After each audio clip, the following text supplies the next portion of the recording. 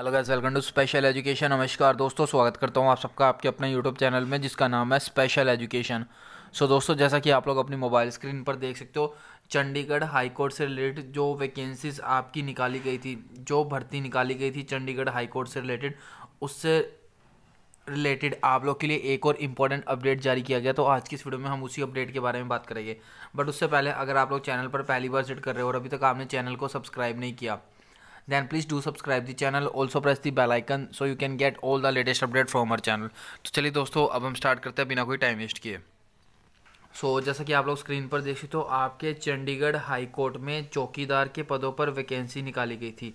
सो so, ये जो total post निकाली गई थी टोटल पचास पोस्ट निकाली गई थी इस पोस्ट से रिलेटेड आप लोग का एग्ज़ाम होगा अप्रैल में।